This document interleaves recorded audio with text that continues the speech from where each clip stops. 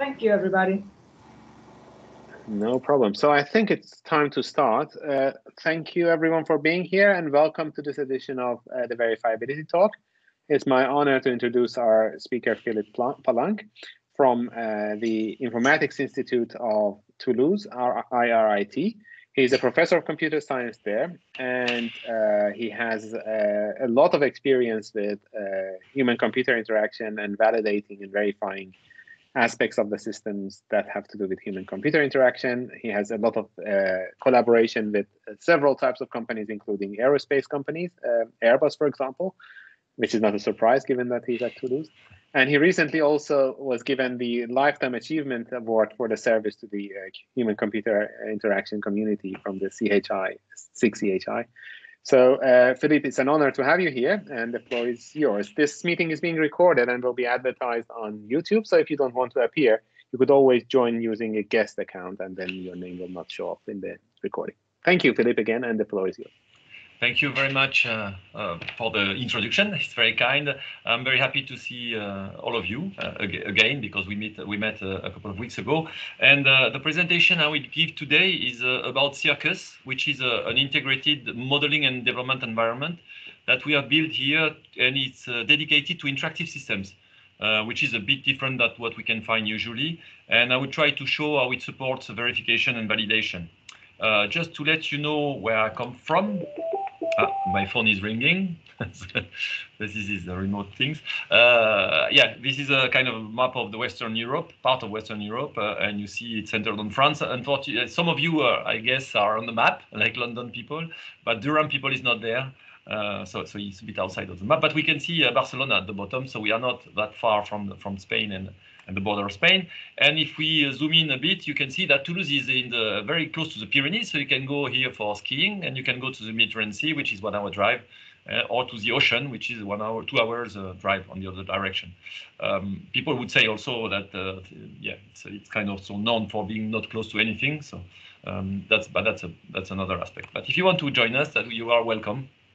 And, uh, and during this presentation, I would be very, very happy if you could ask questions. If something is unclear or you disagree, I think that would be great uh, because I have more material than the time we have for presenting it, but I didn't know exactly what would, would be your interest, so I, I put more material. Um, this slide uh, is not meant to be read. It's, uh, as it has been said during the introduction, it's, uh, uh, we've been working in, in a lot of different industrial projects from different domains over the years. And, and, and my presentation will be based on this. And, and you see at the bottom, for instance, uh, uh, work that we have done for civil aviation and closely with Airbus and other companies, for instance. And, um, and what is in orange is the running projects with respect to the white, which are finished project. And um, and so we work also with CNES on, on, the future command and control system for, for launchers of Ariane 6 and um, and we work also on incident and accident analysis uh, with them together on the Paquito project. But that's very different. But I would be happy uh, if you have questions on these aspects to also go through them. Uh, my focus will be on dependable cockpits, which is uh, yeah making bringing let's say dependability to new interaction technique that could be deployed in the context of, uh, of um, civil aircraft, uh, large civil aircraft. Uh, so the presentation, I will present more problems than solution, unfortunately. So if you're looking for solution, you might be disappointed. So I prefer to disappoint you beforehand. I will focus on specificities of interactive system. This is, I think, what is important here, and also on properties of these systems and how um, being an interactive system, it requires um, to address both the human side of, of the system and, and, the system side, which is hardware and software parts and I will try to bring a, global view on these problems. And, um, and in two aspects, one will be on the architecture of these systems, software and hardware architectures, and also on the systematic approach to address issues like uh, faults and, and failures that can occur in this system. And, um, and I will just then present some example, concrete examples of the work we have done, and also highlight some um, problems that we have not been solving uh, yet, and uh, maybe would be interesting to, to address together if somebody is interested, of course, to join us in these uh, kind of adventures. Um, so I, I, have not a clear idea of your background, so I, I, put here some of the properties we are dealing with, and two of them are, are user-related, I would say, which is usability and user experience, and two of them are more uh, system-related, uh, which is dependability and reliability. And of course, when we talk about interactive system, uh, they will all become interactive system related because this is the way the, the system would work. Um, so there are not always agreement or, on the name of a property. So I put some references uh, that I based this presentation on. Um, so for usability, we have a standard, uh, ISO 9241, part 11, at least, which makes the things clearer. And uh, it's clear by having three contributing factors, which is efficiency, so performance of users, to summarize, uh, effectiveness, which is the capability offered by the system to support the tasks and the goal of the users. Okay, so uh, how many, uh, if you identify the work of people, you will assess uh, how many share of this work is covered by the capabilities of the system. And satisfaction would be the satisfaction of people when they perform their work, which is really related to work activities um, on usability. User experience is more related to uh, uh, affects and, and perceptions of people, and it's a nearly purely subjective property. And uh, we have people who identified contributing factors. So uh, I'm, I'm, sure Effie would maybe disagree with that or not completely agree with it uh, and so on. But I, I use it because it, it, makes things easier to understand for people who are not working on this aspect. And, and uh, user experience could be sliced in aesthetics, emotions, identification, stimulation, meaning and value, and social connectedness. And that would be sub-components like we have for efficiency, effectiveness, and satisfaction that contribute to the user experience of people when they use the system. And I guess we have more computer scientists here, so uh, dependability and reliability, I guess you, you, know them, but I would use the definition from uh, Vizienis and Laprie uh, classification and taxonomy of faults, um, and I will use them throughout the rest of, of the presentation. Uh, the problem we have, the main problem I would say we have with, um, I don't know if you have the sound, there was no sound originally, is that they don't work. Uh, it's commonplace, but it's really true. And, and, it's true not only for complicated systems, it's so very true for very simple systems. And this is raising a question why? Why do we are still not able to make this uh, interactive system functioning? And, uh, and the reason is that, uh, in fact, it comes from multiple types of faults that, that when they occur, of course, will trigger sometimes failures that, that will be something we notice. And, and, uh, and the idea is to try to be able to understand the global aspect of interactive system in order to identify faults. And when we design systems, to identify the faults we want to uh, detect and prevent, if possible, or at least to tolerate uh, when we start the design from the very beginning. And so I would introduce, uh, I would just propose at the beginning a framework for understanding all these possible causes and um, and I'm not saying we should address all of them, but in some contexts, like aviation, we have to address them uh, in an entirely, I would say. And, and for instance, in our TAP uh, distributing water system, it was not, I guess, uh, an issue for them to build a, a non-dependable, non-reliable, non-usable, non-user experience system. In one go, they were removing all the properties by making the system uh, not functioning. Um, so this uh, this classification or this kind of um, global framework I, I, propose to you is is not new. It's based on on contribution that have been done in the past, where we, we try to address the, the social-technical system with uh, organization where people work, the people who are really uh, doing the activities and the work in this organization, and the interactive system that they are using. And uh, um, what makes this kind of uh, classification interesting is that uh, I'm, I'm, uh, you can always refine that and tune it to your proper problem or your proper system you try to uh, to understand or, or, or, to design. And uh, here I'm taking the example of command and control system that brings some issues uh, that you might not have in other ones, for instance. Uh, one example is that in command and control system, users are, are, or people are operators, and usually they are trained, and they are even sometimes qualified. So this is very different from the end users using the tap, as we have seen before. Um, and so some of the elements will hold or not hold depending on the system you are considering. One important aspect that was not addressed in the literature is the notion of environment, which is really surprising, uh, could be surprising. Um, the environment affects the entire um, group of, of uh, elements, these three, uh, three, three elements that we have in this uh, global framework. Uh, and um, it's not surprising also all the time that it was not explicitly addressed in classification or or taxonomy or, or frameworks, because uh, usually when you have a command and control system, you, you try to make it um, independent from the external uh, environment. So, so if you look at air traffic control and route systems, it would be a dark room with uh, very little light, no sound, uh, no noise, no interaction with people, etc. And, and that's exactly the point of, of removing the disturbances coming from the environment. Unfortunately, in real life, we cannot do that most of the time to avoid the environment. And these are some examples of things that uh, happen to aircraft. So the first one is the lightning going through the aircraft, which is pretty common. I've experienced that once, and it's not uh, it's not uh, not frightening. It's a bit frightening, in fact, when you get it. Uh, the second one is hail that you face, uh, yeah, storm with hail inside, and the last one is a bird that can go. Uh, uh, yeah, maybe located in front of the aircraft, which might not be good. If we refine uh, this classification here, we see more elements which I believe are, are interesting also uh, because they connect the elements together. And we see the requirements that are connecting, for instance, uh, the organization and, uh, and the system. We see the training and operational procedures that are connecting the organization to the people. And we see at the bottom what we have usually when we consider computing systems is notion of people working, doing their work and their tasks on the system. Um, and usually this is done through an interactive system. And, and there is, so that's why we have also this discussion uh, uh, in other domains like INCOSE, which is system engineering, that uh, they talk about use human system integration. Uh, in fact, we don't do human system integration. We have human, we have system, and in the between, we have a huge system, which is the interactive system. And, the, and this system is responsible for the integration, but you don't have the human directly in the system. At least I would argue that this is not the case. Um, and one important element that we have inside there is the automation. And automation can be seen, usually seen by a lot of people as a, as a migration of, of activities from the human to the system or from the, the system to the human, depending on what you want to automate and how you want to do it, um, for instance. So this tries to bring everything a bit together.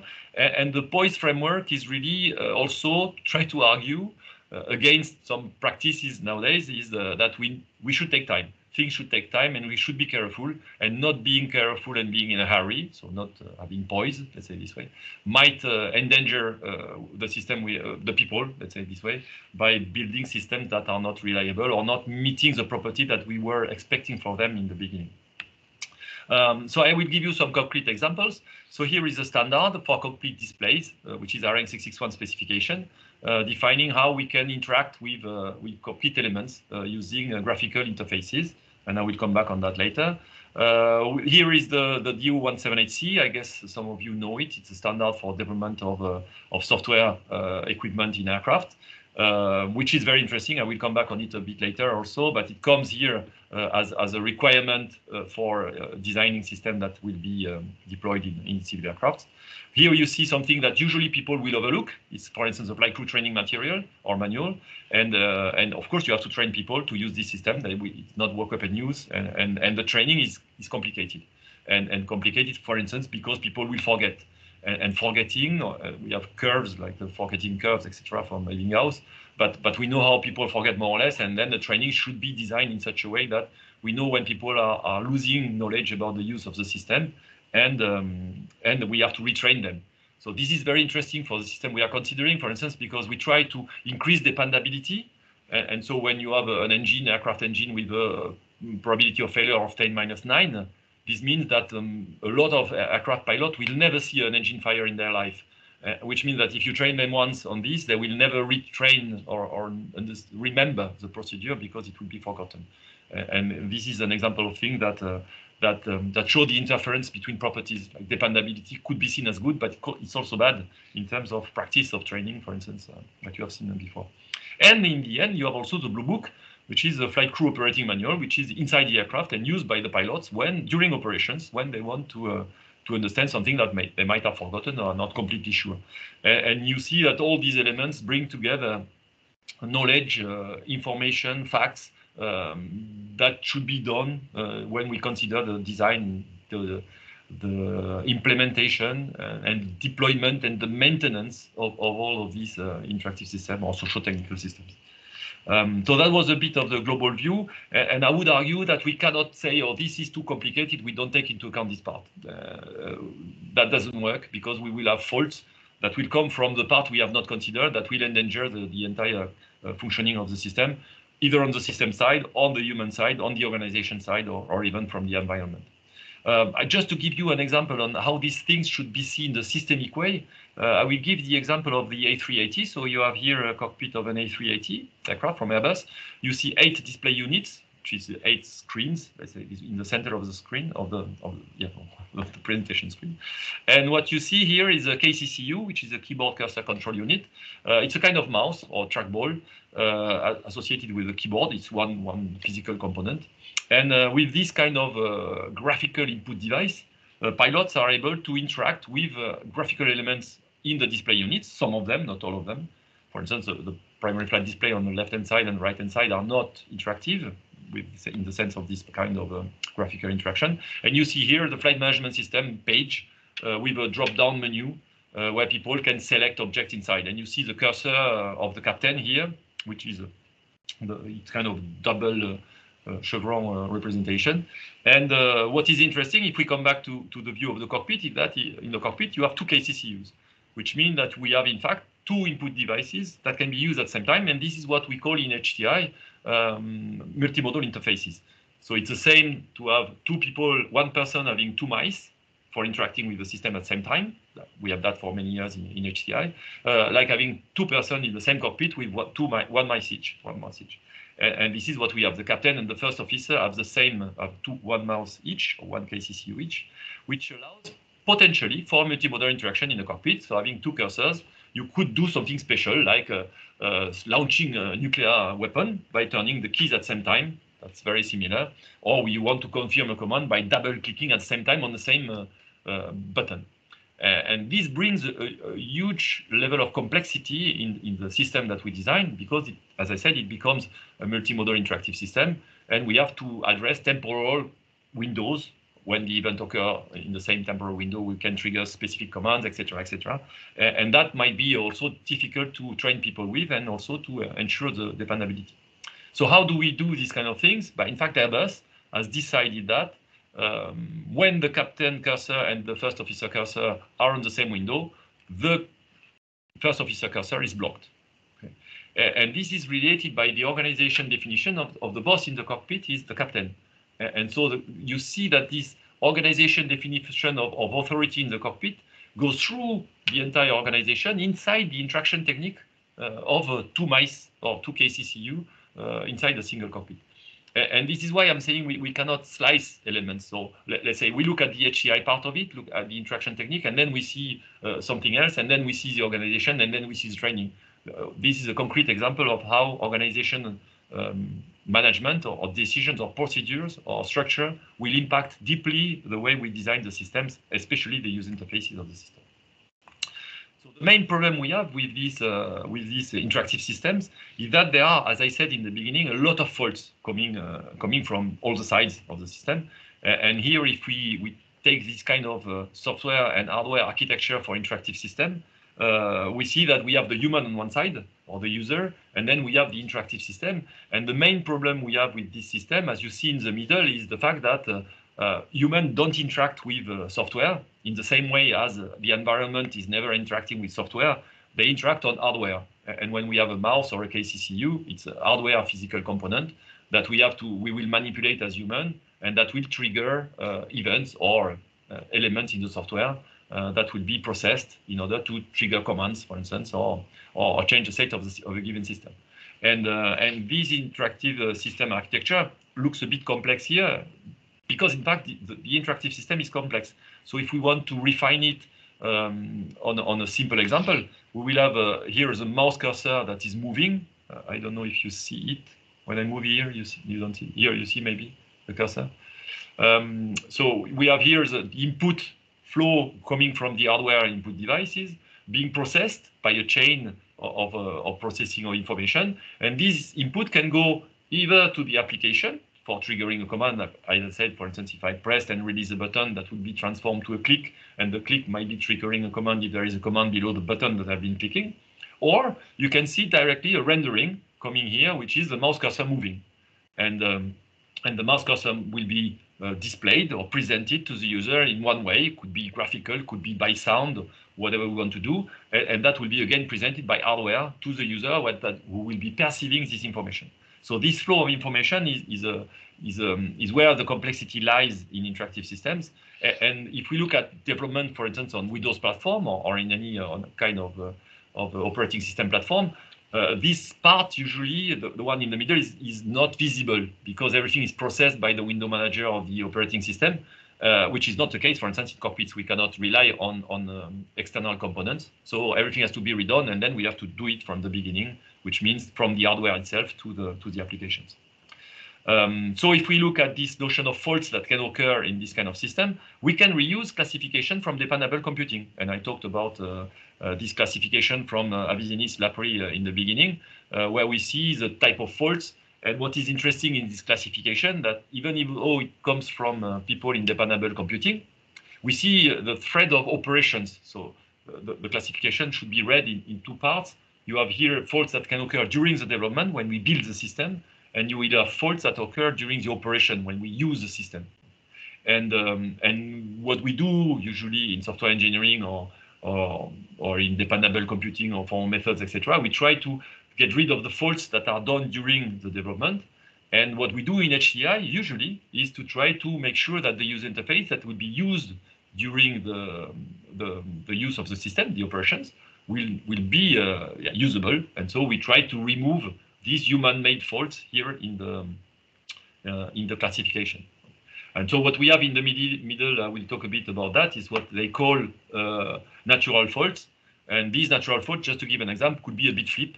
Uh, and the bit flip could uh, could impact operations um, by adding faults that were not supposed to occur.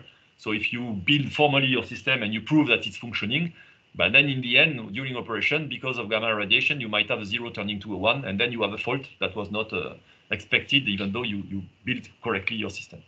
Um, so what I will not be talking about today here is the red parts, which are dealing with malicious faults. So when you add on purpose uh, faults, which could relate to the property of security, what I just said. So the properties could be positioned on this uh, architecture or this classification of faults, sorry.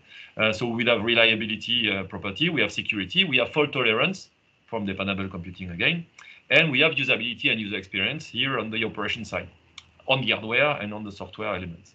Um, what is also interesting for us, uh, if we work on tools, for instance, for developers to, to prove properties or to uh, check uh, quality of system or test our systems, in fact, in fact, usability and UX are extremely relevant for the tools we are using. And if you don't have a good usability, then people will make mistake because there will be, that's an interesting maybe aspect of this classification. If you look at uh, development environments, uh, when we develop the system, we use the system in operation. So, so here the developers will be using a system during operation for building software. Uh, and, and this is where we need UX and usability again, because uh, that's what they use uh, as an operation. Um, so yeah, I think this is uh, also why we have some issues with the development systems and or IDEs in general, because this notion of UX and usability is not properly addressed from the very beginning of the concept of the design of these systems, and could, more work could be done on these elements. Um, this is what I, I was talking about uh, before. So I just have very simple examples here of the faults that uh, we need to address uh, and that have to be addressed in this kind of uh, classification of faults. And if I stop here, I'm completely wrong because I've said nothing about human. And uh, in the same way, we have faults that can occur inside the system. Like I said, a, flip, a bit flip will change a zero to a one, for instance, okay, uh, during the operation and the use of your system. Uh, similarly, things can occur that will change the behavior of, of people from inside. And this will again trigger problem in the entire interactive system. And I cannot say I don't want to deal with humans uh, because this is complicated, because of, in the end, the system will not be uh, functioning. So what we've been working on recently was to try to identify the type of faults that can occur inside the human, inside the people, and um, and to try to find ways of uh, addressing them. Uh, it could be tolerance, it could be prevention, it could be removal. So, so we have different mechanisms for addressing the fault. And we will notice also, I will present you some example, but we, we also notice that the faults uh, are, are I would say, more diverse than, than what we could have in dependable computing. And uh, some of them can be addressed and some other ones cannot be addressed. Um, so in this classification and this work we've done, uh, so you have here the classification. Uh, just to give you, as before, uh, uh a, quick understanding on what we have in this classification, we have either on this side the, the faults that are produced by the operator themselves inside themselves. Okay, so that's one example. And, and these ones are produced inside the operator from it will be bigger in the next slide but just to give you the two parts so one are inside the operator produced by the operator itself, and, and the other one are inside the operator produced by the environment. It could be other people, or it could be the environment uh, uh, in which the operation takes place. So if we are here on these uh, yeah, internal faults, so here we see better maybe uh, the, the, the internal faults uh, from inside the operator. We have two sides, one done by the so human-made again, like we have in the classification of Laprie, uh, by the operator, and we have natural faults. And what could be natural faults? It's faults that occur whatever you do, like the bit flips, and bit flips in the human being could be aging. And we noticed so from day to day that people will read less and less. So the system is as good as before, but it's the human degrading, for instance, and we have to deal with that. And for instance, when when some airlines decide to move the age of pilots from 60 to 65 uh, for operation, this might have an impact on the fault that we will, we will see inside the operators. So other faults will be the cognitive biases that, that uh, I guess uh, all of you have heard about. And this is a normal standard non-functioning of humans. And, and, we again we cannot design systems without taking this uh, this bad functioning in, in, into account. And uh, if we go to the external side, um, we have uh, faults coming from uh, from let's say natural faults or, or, system faults. An example of system faults, which is interesting, would be a, a, a too loud sound. And the too loud sound will, will uh, induce dysfunction in, in the body of people, in the, the, way people behave. And here you see, for instance, vibrations. And I will use that as another example. If you have vibrations in the cockpit, and it took us a bit of time to be clear with this, uh, it's not a fault inside the system. The system is still perfectly functioning. The fault goes inside the human, and when the human would try to use a tactile screen, for instance, to, to click on the screen, this will not function. So, so the selection will be failing because the human has been impacted by the vibrations. And, um, and with this classification, we were able to address a lot of faults that were previously um, badly allocated, I would say, to the classification of Laprie and Avizienis, because it, they were not completely clear that it was only for, for system faults. And with this separation, I think the system, the, the problem are easier. Another thing that might be of interest for all of you is the fact that we can also address the seven deadly sins. Uh, and you will see that people will, will um, induce faults. Uh, so other people than the operator will induce fault to the operator just by desire of greed or uh, envy or other sins. And um, and uh, and it might not be always uh, malicious, but it could be malicious, for instance. So, so it brings these elements together. For instance, you can you can hit or destroy the cable of, the, the, keyboard of somebody just to make that person less efficient, or or remove the mouse, for instance, etc., etc and, and we could represent that. Uh, so I gave you some examples. If you look at the literature in human factors, you'll see that there are plenty of cognitive biases. So this is the cognitive bias codex. Um, I would also encourage you to have a look at it, uh, especially uh, because they are classified and we can see that they are much more than what we know. So here I put some example of, uh, of training elements or, or cognitive biases impacting uh, training. Uh, for instance. And uh, maybe we could discuss a bit more about uh, cognitive biases that impact development. Uh, so here it's not only you see the operator again using a cockpit, but it could be uh, uh, developers using an IDE to program their system, and then the cognitive biases will come here. And we know, or I guess you know all of them. for instance, so overconfidence would be a very good example. I, try, I, I believe I know very well my API for programming my user interface. For instance, in fact, it's not the case. So people will be using wrongly the, the widgets, for instance, and then the system will not be functioning. And uh, I put a reference here, which is an interesting paper, which was trying to uh, gather uh, some cognitive biases that uh, that can impact uh, software development or software engineering in general. And I think that that's a, a good starting point for, for looking at these. Um, so now I would move on a, on a quick example uh, to show you one way of addressing the problems I was presenting before. Okay, so this example is what we've called braced touch. So it's a way of interacting with tactile screen in a cockpit uh, because the new cockpits will be uh, tactile for many reasons. One is the weight, for instance. What I presented to you as a display unit, it's extremely heavy and it's a, it's a, it's a real screen plus a, a full CPU, etc. Um, so it's in fact it's a computer. Every screen is a computer. And the second advantage of the tactile screens is that uh, you can get rid of the physical uh, components of the of the system. Uh, the, the, the problem or the drawback we have with this is the dependability aspects. So we don't have currently uh, tactile screen that are dependable enough. So dependability uh, measures are around 10 minus 5, and we expect 10 minus 9. So we work on how to uh, improve this kind of dependability for these, uh, these systems. So um, what we did is to, as we addressed uh, all these properties together, as I was presenting before, in fact, when you want to publish, it doesn't work. So, so you have to slice the contribution to different domains in order to try to uh, to provide solution to different people uh, according to the interest of people in systems. And, and you see here a publication related to usability and acceptance, and another one related to safety and dependability. Um, so the idea of Brace Touch, uh, I will not go into the detail, but was to, to deal with uh, uh, operation natural faults. So try to avoid turbulences that are producing faults inside the human. So that was one element. We try to avoid operation natural fault inside the system.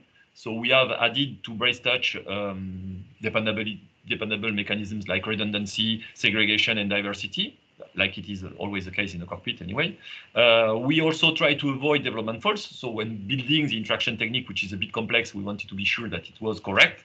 And so we identified uh, um, uh, properties that we wanted to check or requirements we wanted to check on the on the fault that could occur inside the system during the development. Um, and so we use formal notation, and I will present that to you.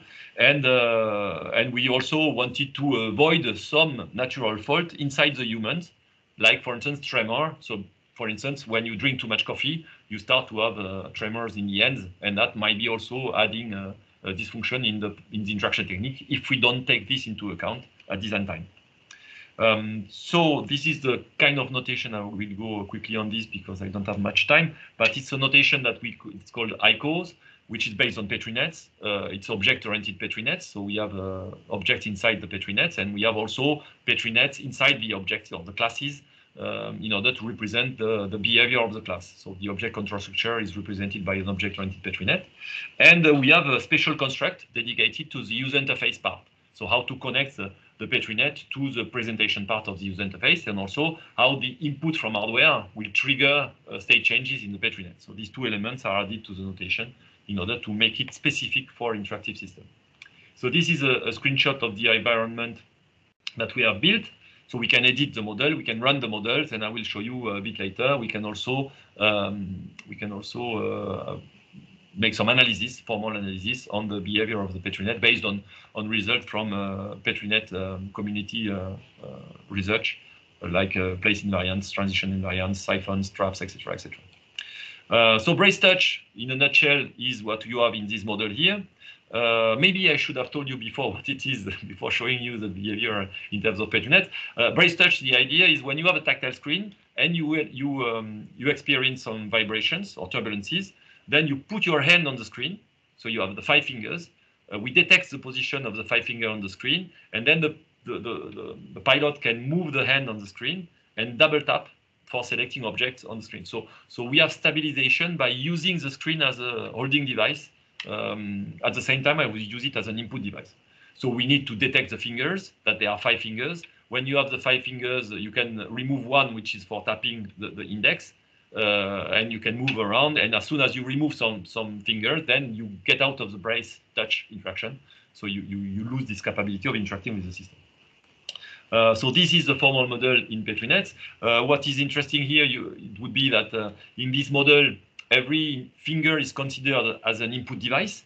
So each time you put a finger on the screen, the fingers will come here. And when you have five fingers, you can move to another part of the interaction, which is I'm in the brace touch now. And as long as you stay in this brace touch, then you can uh, manipulate your your uh, your finger and, and, and use taps interactions that you have here on this side. Um, so this was uh, this is a very quick video of uh, the environment and the brace touch. So you see yeah. at the same time the PetShop may, environment. May I ask a question? Yes, sure. Uh, uh one, one additional point you asked me to, uh, to yeah. signal when you are ah, yes, uh, 35 minutes to it. Yeah, so the question is, uh, can you detect also mismatches between when the user thinks uh, he or she is in the brace touch and uh, the model is not in the brace touch and vice versa. So, for example, if uh, by accident one uh, one finger reaches the screen sooner than the rest, and then something happens because of that single finger. Uh, yeah, but this yeah this is a very good point. It is exactly the kind of things that we have to. Uh, uh, yeah, so I can answer it maybe better. starting again, is that if I present only brace touch, it doesn't work because of course we should have all the interaction techniques together so like the tap and the double tap and etc and and um, and that's what i was trying to say before um, you will have a lot of uh, timing issues so so if the other fingers are not coming fast enough like we have on on the mouse for instance if you do a double click too slow it's never a double click it's always a two clicks and we have the same issue so we have all the interaction techniques in parallel running and then you will have a distribution uh, of, of, the uh, of the behavior to the interaction technique depending on where you are. And uh, it's, it's, an excellent question because we had this issue on testing. For instance, we noticed that the small finger, the little finger, is in fact uh, not always on the screen. And so we were we had people getting out of, out of the brace touch uh, interaction just because of the small finger uh, not being stable on the screen. And so we had to tune the interaction technique so that the little finger is not counted as the other fingers. And um, and, and that's why the, the interaction technique becomes more and more complex. And I could show you the interaction technique of the double click. It looks simple when we talk about it. In fact, it's extremely complicated because if you do a mouse move within the double click, it doesn't work. If you are too slow, it doesn't work. Uh, if you um, if you uh, if you do a mouse move in the beginning, it doesn't work, etc., etc. There are plenty of, of elements that change the behavior of the of the double click, and, and brace is even more complicated.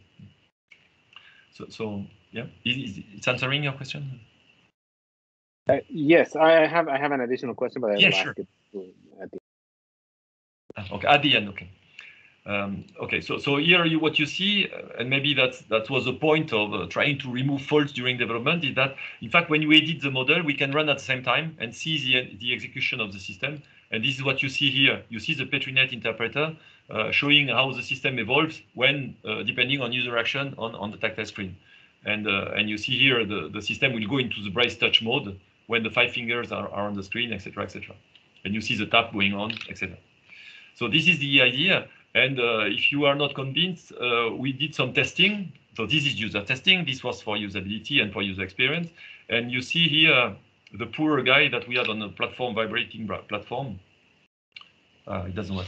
I know it doesn't work. Sometimes it doesn't work. Uh, you will not see it everything. But as soon as, uh, yeah, I don't know why. This is a very strange. Uh, I can show you. I can show you here. You have to do it this way. So if I do play, you see, I hope you see uh, good enough you see that in fact every time it's red, it means that the, the, the person has been missing the target on the screen. And, and, in fact, most of the time they miss the target. So, so any idea on, on tactile interaction in vibra under vibration uh, would, would completely jeopardize the, the, the, performance of operation, for instance. So I will try to come back to this. Uh, um, so what we have done in usability studies, we have seen here, for instance, that the performance uh, the number of errors with brace under vibration is exactly the same as without vibration without brace. So, so we, uh, it, it, the new interaction technique brings the same performance uh, under vibrations that uh, that without vibration at all using the single tap and, and, double tap interaction techniques. So that's an example of, of the things we could do to improve um, the way people can interact in real social technical systems um, by addressing all the properties in, in, at the same time. So I will skip some slides now, which were uh, in fact there to, to show you how we address the standards and also how the uh, notation that we have built support these activities. The last point I wanted to show before concluding is that when we talk about people, we need to talk about work. And interaction is in fact not the work people have to do, it is uh, the basic elements, the basic language or, or lexical elements that people will trigger to do their work. And we did another description which shows, we describe the, the work of people uh, when they interact with an application. So for interactive system, I think it's very important to understand that we have on one side the interaction techniques, which are these lexical elements of, of, the dialogue between the human and the system. And then we have the interactive application, which allows people to do their work. And we, we, we, for this kind of activity, we need two representation. One is the representation of the work, and the other one is the formal model or the representation of the interactive application. Okay, and so I, I, can skip now because I talked about it. Uh, so I had an example here, which is uh, the weather radar application. And uh, here is an example of task models. So we would build again in Circus. We have the way to describe the task of people. we have to be uh, the possibility to describe the system, the interactive system, and to make the connection between the two. And we can prove that the tasks are feasible on the system, which addresses the first properties I was talking about in the beginning, which is effectiveness in usability. So we can demonstrate that the tasks are feasible on the system. And for instance, if you have a sequence in a task that people have to perform, we, are, we can demonstrate that the, the same sequence exists in the, in the interactive system itself. Um, so I will, I think I will skip to, and conclude because you, you will have the slides anyway. And this is uh, the Hamsters editor, which is a task modeling editor, and that is also a simulator. And uh, what I wanted to show, but I think it's it might. So this is a sorry the verification element. So we have a graphical representation of the properties that are present in the PetriNet. So when it's green, it's okay. When it's red, they are not present. And this is based on the calculation of the incidence matrix of the PetriNet. Uh, and um, as I said before, the invariance that we show. We also have a logging for doing performance evaluation on the PetriNet to assess be, before user testing that the system would be efficient enough. Uh, and I will skip these elements. Um, what might be interesting, as I said before, and this is uh, uh, something a bit detailed, but this is what I wanted to show as a demonstration. We can have together the system model, the task model, and we can co-execute them. And we can see, for instance, discrepancies in, in the sequencing of actions here with respect to the sequencing of action which is present in the PetriNet. And we can see that during the execution of the system itself. So we can see, for, for instance, if you uh, uh click on the elements here on the system, you will see the task modeling model evolving, and you will see also the PetriNet evolving here. So the idea of this tool is really to support also developers or designers uh, in building their models and checking that the models are conformant with what is expected for the interactive application. So uh, to conclude, I have one minute. Uh, so the takeaway message, if, if there is one, uh, maybe I should start with this, is that we have absolutely not solved anything. What I presented to you is, is uh, the work we have tried to do to try to address this problem of, of interaction with tactile screens in cockpits uh, when there are turbulences. So you cannot be uh, smaller, I think, as a, as a problem. But it was interesting because it was uh, showing the importance of having a global view on top of this. And, and, we could not have been able to, to produce this solution without this global view addressing all the elements of organization, people, uh, system, and environment. Um, so, so there is a need to, to cover the entire system. Uh, the problem we have in interactive systems, unfortunately, is that we deal with hardware and software. And, and usually in software engineering, for instance, they, they uh, I, I, was about to say they don't care. I'm not sure they don't care, but but they uh, they don't provide solutions that integrate these two views uh, most of the time. So there is a lot of work to do additionally on these elements. And uh, we need to cover the operators. This is human factors work. Again, they usually don't address uh, the system side. And uh, if we look at organization, uh, for instance, as I said, training, which is a very good example, I believe. Uh, this again is done independently from the other ones. So, so and we cannot do these things independently. Um, if we want, and I think that's a, a, really good target, if we want to verify that our system, our interactive system or our social technical system is, is correctly built, uh, then we, we need a, a, lot of tools and, and languages, as I said. Uh, for instance, the task description usually is done by human factors people. They cannot build the PetriNet. We tried uh, to, to teach them, uh, it doesn't work uh, because they have different training, they have different background, and, uh, and so we need different notations and we need to bring them together. And this is also making things much more complicated. because we have people from diverse knowledge, for diverse discipline with different knowledge, and we need to incorporate all of them. So this is a big issue. And uh, if I can, may also say is that verification of interactive system properties is very hard. It's very difficult because uh, because we need to address these properties which are user related and properties which are uh, system related. Some of them are subjective, like UX. Uh, we, we cannot say much about UX. Are people uh, uh, do, do people find the system aesthetic? Uh, we, could use the the, the golden uh, phi number, for instance, to, to address uh, uh aesthetics at uh, uh, let's say human side, human level, but it's never something we will have in user interfaces, for instance. So, so that that makes things difficult. what is might be good, what might be a, an interesting way towards a solution is that sometimes when you do verification, you can um, provide arguments for necessary conditions. For instance, in the PetriNet, we have states and, and if you don't present that your PetriNet has, has, has had a state change, for instance, uh, then for sure the people will not be able to understand in which mode they are. So, so we know by this that there might be something going wrong and there might be something to study there. And uh, but of course, the, the, final solution would be uh, related to design, and that's something very difficult to prove again. Um, so target we could have as a community, I would say, is that we want to have the possibility to provide a stamp on an interactive system saying this is this is correct. This is a, good system and you can trust the system. It is safe it is usable it is dependable and it's conformant to standard like we have with the ce symbol uh, from the european commission for instance. And, and, on the other side we might also want to have this kind of all symbol which is the, the unsafe hazardous dangerous symbol that we have all faced with covid even though i was very surprised it was not uh, uh, at least in france it was not painted on some walls uh, at some point. I was expecting it might be uh, showing up.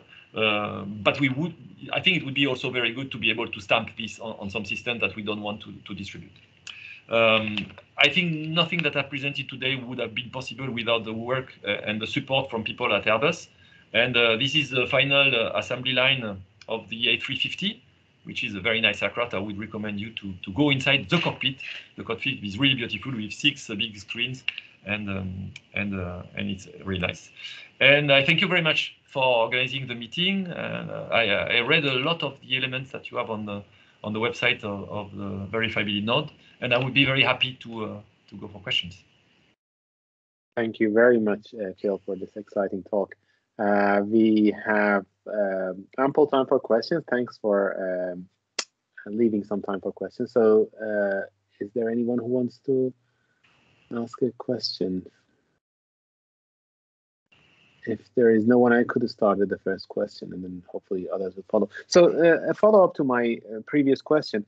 Uh, you can definitely model the task model and the system model and then check them against each other. But can you also find mismatches between what where the user thinks they are in the task model and where, where they actually are? Yeah, yes. So again, good good question because uh, usually people will focus on tasks and, and system uh, representation at design time. Uh, yeah, when, when we want to, to, to make sure that the system is usable, as I said, especially for effectiveness. And your question is related to operations. So when the people will be using the system, and um, and yes, this is a, a, big issue, especially for cognitive biases. We know for tunneling, for instance, people will be stuck in some tasks and, and not get out of these tasks for understanding the, the global uh, evolution of the system, for instance. And uh, yes, so what? alors, um, uh, say alors, so in French. Uh, it would be great to do that, and we could do that, for instance, by plugging uh, the Hamster tool to the real system during operation and uh, and, and we we've done some some some papers on that, which we call you contextual help. So so as the task model is running in the background, you could question the task model to know from here how can I go to there, for instance, how to be sure that the landing gear is out, for instance, something like that.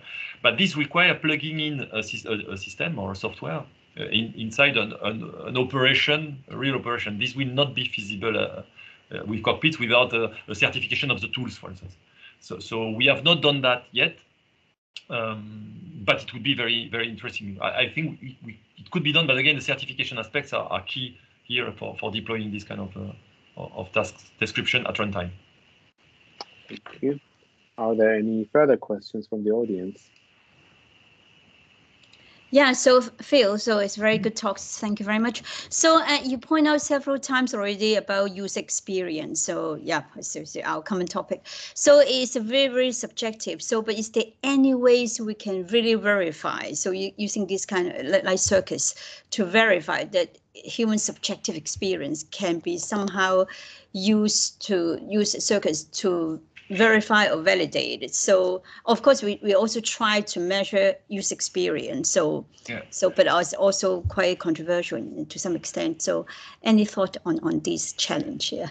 Yeah, yeah, yeah. I, I said a bit about it. Uh, I think we can provide um, necessary conditions uh, for user experience. One very, I, I'm afraid that my my knowledge there is limited and my my answer might be really poor. But uh, uh, for instance, uh, one of the elements we've seen for user experience in in um, in uh, say uh, social well in applications, software applications that we have like web pages or so on, um, would be the social connectingness. So if you have the capability in your system to post what you have done uh, on social media, people will have a, a higher user experience when using these systems. Looks like I've seen some papers about that. And, and so for us, it would be uh, verifying, for instance, that whatever state you are in, you, it's always possible for you to trigger a post on the social media. Uh, mm-hmm. Which means it might not be enough for user experience, but it might be necessary. Otherwise, we will never meet the, the social connectedness uh, element of user experience, for instance, you see. So, so I, I, think we could do things like that, like we did for the task model. We can check that the, uh, the system is effective with respect to usability, but in the end, it might not be usable.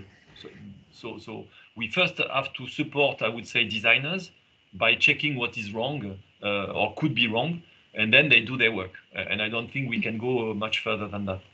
Mm-hmm. So it's come somehow it's indirectly infer. So if you use this social media example, so you look at the behavior, they infer that they re- somehow because of the social media, they they have some experience, something like that.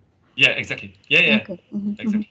So, so that's an, I don't know if you remember, but a long, long time ago, there were some work on on on new automatic usability evaluation. And um, and what the people were doing there was, for instance, for checking that the, the text in front of the text box uh, was aligned. So, mm-hmm. so this so this very basic element, I think we can check. And for instance, for aesthetics, we could say, oh, these elements are aligned, which might not be good, or or they are not aligned, which is good. Uh, you know, it depends on the, on the design you want to produce. But but we could do checking based on, uh, or let's say, the systematic checking based on what has been represented as expected properties for your user experience elements, like aesthetics, for instance. Mm-hmm. Okay. Mm-hmm. Okay, we, we have time still for one question, maybe if there is any. Uh, anyone wants to ask a question before we close the meeting?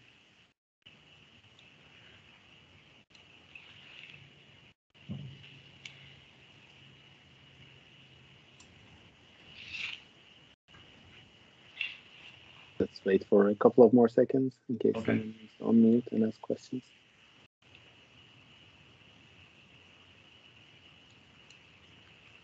Yeah. So otherwise you have a screen. I don't know if you, you can still see my screen, but here you have the PetShop tool uh, running at the same. Yeah, and and you have the task model with the tasks which are feasible at the same time as you have your system model and your interaction. And we can uh, simulate that. So we can uh, decide to change mode, for instance. And now I can, for instance, change mode, and I see that I have changed the mode here in my my system. So I, I go to different states, etc., etc. So just to show you that it runs all together. Maybe that would trigger questions to software developers. Anyone wants no. to ask a question before we close the meeting? Maybe yes. one one more yes. uh, one, one quick, uh, quick question. So, is it the CIRCUS is um, apply or more effective for the for this um, question for the prompts? They're well defined. So, if a, let's say gameplay experience, this kind of very ill-defined so domain is it's very difficult to apply CIRCUS to models. So the user behavior because the gameplay you can many many different ways. Also gameplay is also a lot of experience involved. So would you would you say the CIRCUS um, is because it may not be applicable to this kind of domain. Uh, yeah, I think it's it's uh, yeah it, it's more. Um, I, am not I would not say circus because it's a tool we have built, so of course it's applicable to every domain. But mm. but uh, what is not applicable, I think it's uh, the task description. Uh, so we've done that for for um, for uh, entertainment. It was interactive TV, for instance. And in that case, you see that the task of people is completely flat. In fact, there is no hierarchy that don't go down yeah. into uh, into higher level goals, sub goals, sub sub goals, etc. until activities, and then they go up. In fact, it's flat, and they do uh, whatever they want. They watch, they stop, they play, uh, etc. And in game, it, it, could be the same, uh, but I believe it depends also on the type of games. So mm-hmm. if you have very simple games like uh, tic-tac-toe or something like that, of course the task model will be very simple. But if you have a strategy games, for instance, um, you, you, where you have you know uh, uh, trees of, of experience and, and skills that you develop by using the system and then you have new skills that, that could be useful for instance for checking that the, the again that the people uh, the, the, gamers have some tasks and they follow the task to reach their goal and if they are stuck you could also provide them some help depending on the context in which they are so, so i think it depends more on the on the structure of the activity of people than on, on the application domain mm-hmm. but i might be wrong okay. thank you very much yeah Thank you for the question.